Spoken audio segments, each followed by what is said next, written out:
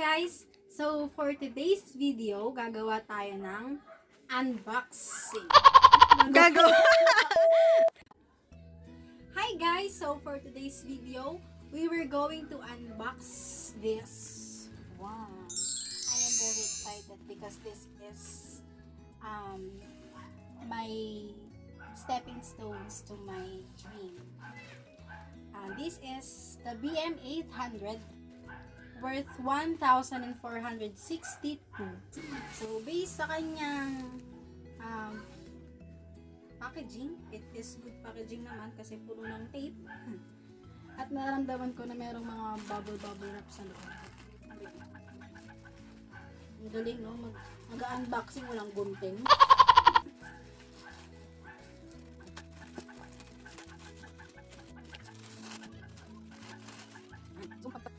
Pagkabukas ko, meron siyang bubble wrap. Meron pa rin ulit siyang tape. So, sa mga nanonood nga pala dyan, yung BM800 condenser is para siya sa mga beginners na katulad ko din. Pwede siya sa mga sisimulang mag-vlog, pwede rin siya sa mga gusto mag-cover ng songs. Mga nag-stream dyan, din na pwede. Doon yung wrap guys, so it's it's bubble wrap lang siya, super cover, di naman sa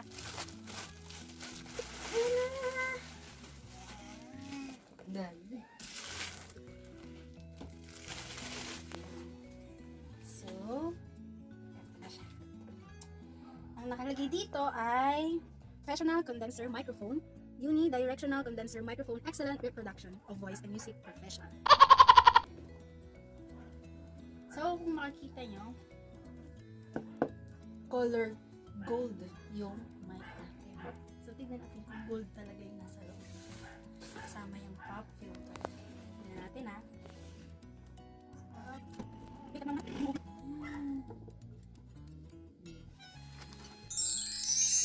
So, first is the pop filter.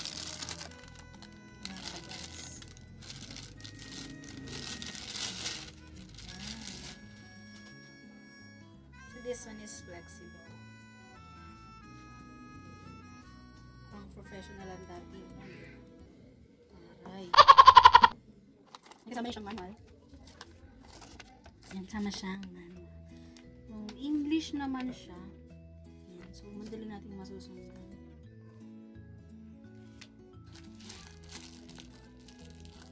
Also have this arm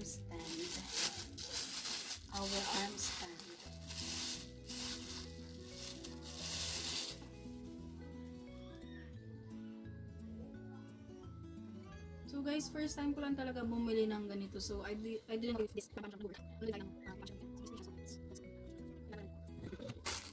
And then next we have our I think ang tawag dito is the XLR cable. Natin i-connect sa laptop. And this one ay USB sound card. So, sa mga nagdududa kung bakit wala akong phantom power or ah, phantom supply, sabi ng kaibigan ko, sabi ng napagtanungan ko, this one is um, para doon siya sa, parang alternative siya doon sa phantom ko. So, mura na para sa 1.4 kasi nandito na lahat. May kasama ding ah, shock. Bago ko to binili, syempre, pinili ko yung magagandang reviews. Ayan. Etong shock mount, ayan. Yung shock mount is para sa mm, microphone. Parang protector siya ng microphone sa mga any vibrations. So, this one is the, ito yung ikaklamp mo sa table. Kadugtong siya nitong, ayun, itong arm stand. And we have this one. Ang bigat niya. Fairness. Fairness.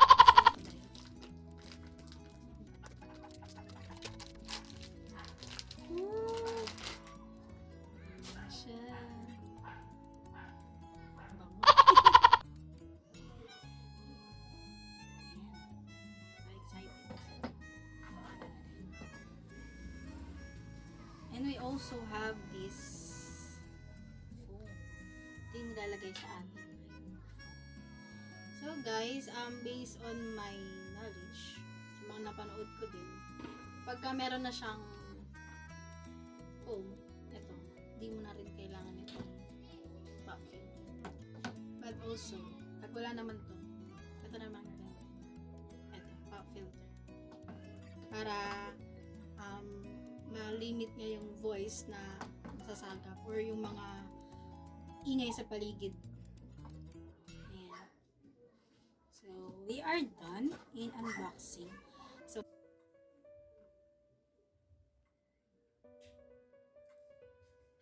So, ayun nga guys, um, I found out na hindi kasha yung uh, bolt dito sa butas ng shock mount. Ayan, kasi maliit. Ayan, maliit yung butas ng shock mount. Tapos itong bolt malaki. So, hindi siya compatible dito. Ayan.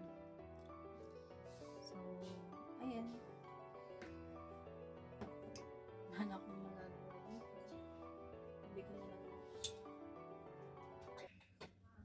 So, ang gagawin ko, contact na lang natin yung um, seller.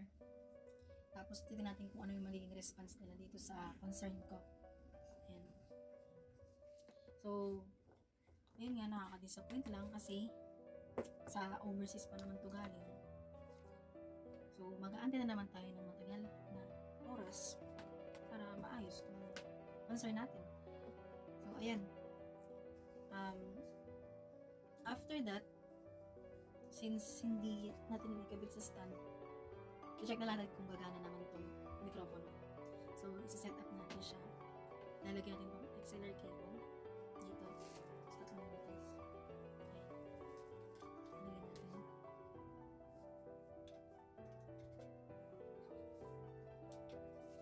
Ayan.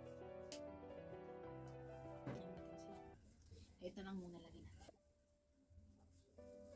So, by the way guys, ito pala, itong sound card. Um, dito kinakabit yung earphone and then yung XLR cable. Then itong cord na to sa laptop para um, marinig yung sounds na marinig yung sounds natin. So, tingnan natin kung gagana na siya. Hello, hello, test 1, 2, 3. This is my voice using BM800 condenser without using pop filter. Hello, test 1, 2, 3. This is my voice using BM800 condenser with pop filter.